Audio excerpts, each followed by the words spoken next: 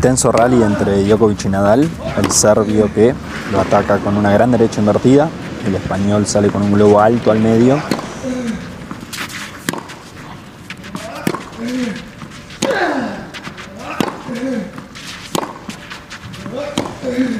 Nadal que intenta tomar la iniciativa con tiros paralelos, Djokovic se defiende con tiros profundos y cruzados.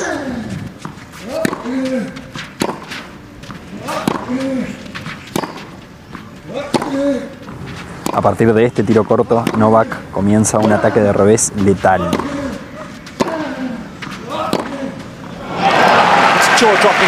Djokovic.